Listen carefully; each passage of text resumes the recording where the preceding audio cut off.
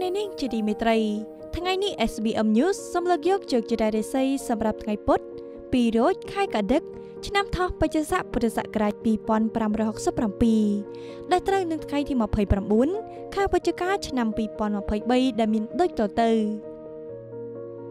ឆ្នាំជូតធាតទឹកពងទេវរាប្រុសរាសីរបស់អស់លោកអ្នកដែលកើតឆ្នាំជូតថ្ងៃនេះរាសីឡើងខ្ពស់ត្រដែត លោកអ្នកមានភាពស្រស់បំព្រងនៅក្នុងដំណើរកិច្ចការងារប្រចាំថ្ងៃមិនចំពោះទៅអ្នកធ្វើការឬអ្នករកស៊ីឡើយលៀបសការៈមកពីទីចិត្តថ្ងៃនិងរស័តមកចិត្តកាយអ្នកដូច្នេះគួរចាប់ឱកាសនេះឲ្យបានល្អចំពោះរឿងគ្រួសារនិងស្នេហា មានតែភាពត្រជាក់ត្រជុំដោយទាំងអង្គបំពង់ខ្ចីឆ្នាំឆ្លូវធាតដីពងមនុស្សប្រុសរាសីរបស់អស់លោកអ្នកដែលកើតឆ្នាំឆ្លូវថ្ងៃនេះឡើងខ្ពស់ត្រដែត ទំនាយទីថាលោកអ្នកនឹងទទួលបានតែការស្រឡាញ់ចូលចិត្តពីញាតិមិត្តចិត្តឆ្ងាយការធ្វើដំណើរចិត្តឆ្ងាយនិងប្រកបកិច្ចការងារផ្សេងផ្សេងរបស់លោកអ្នកសម្រាប់លទ្ធផលជាទីកប់ចិត្តសម្រាប់រឿងគ្រួសារនិងស្នេហា គឺស្គាល់តែសុខសុភមង្គលគួរឲ្យចងចាំទុកឆ្នាំខាធាតឈើពងយៈស្រីលោកអ្នកដែលកើតឆ្នាំខាថ្ងៃនេះរាសីធ្លាក់ចុះ រាល់គម្រោងការទាំងឡាយដែលលោកអ្នកគិតថានឹងប្រព្រឹត្តទៅបានល្អនឹងคล้ายជារឿងអាសាបងដាក់ចោះរលីកបាត់គ្មានអ្វីជាដុំកំភួនឡើយសម្រាប់រឿងគ្រួសារនិងស្នេហា មានភាពអរកម្មរកោមិនចោះសម្រងឈានទៅរកការឆ្លោះប្រកែកទាស់តែងរឿងតូចពុនឲ្យคล้ายជារឿងធំឆ្នាំថោះធាតឈើពងមនុស្សស្រី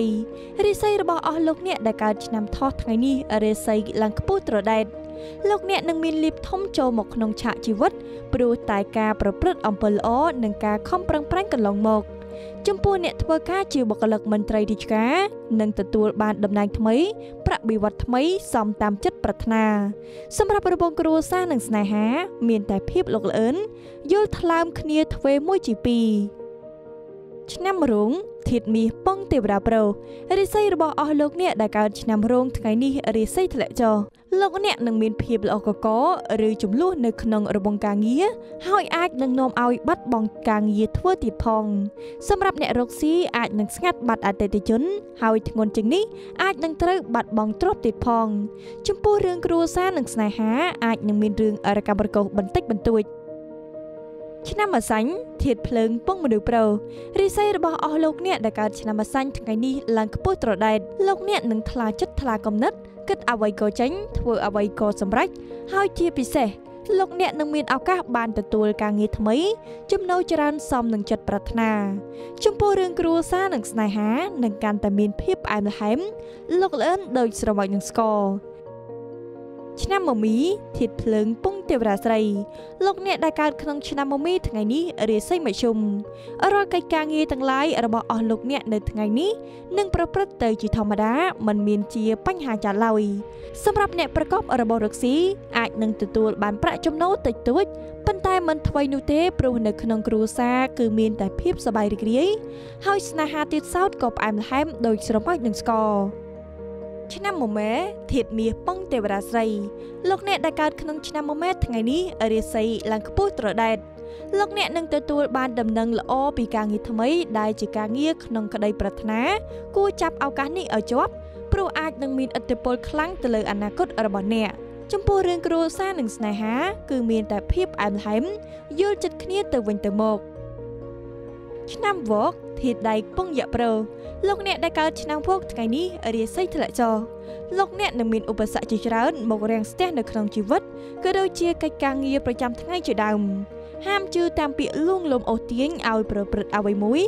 និងហាមដាច់ខាតតូតុនអាណិតអ្នកដតីដែលមិនមែនជាសមាជិកគ្រួសារបងប្អូនសាច់ញាតិចំពោះរឿងគ្រួសារនិងស្នេហាអាចនឹងមានភាពអរកម្មរកុសបន្តិចបន្តួច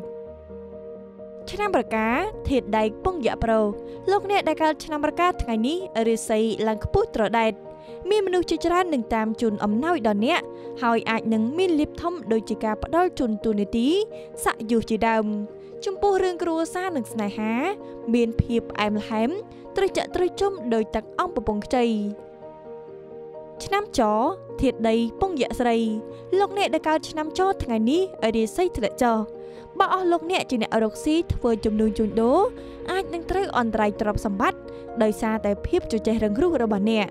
ហើយបើជាអ្នកធ្វើការជាបុគ្គលិកមន្ត្រីរាជការក៏អាចនឹងប្រឈមមុខនឹងបញ្ហាជាច្រើនដូចជាការជន់បន្លិចពីសំណាក់ក្រុមការងារដូច្នេះមុននឹងធ្វើអ្វីមួយត្រូវចេះគិតមកក្រោយចំពោះរឿងគ្រួសារនិងស្នេហា មានតែភាពល្អកកមិនចុះសម្រងហើយអាចឈានទៅដល់ការបែកបាក់ទៀតផង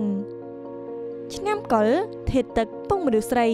រិស័យរបស់អស់លោកអ្នកដែលកើតឆ្នាំកុលថ្ងៃនេះមជ្ឈុំ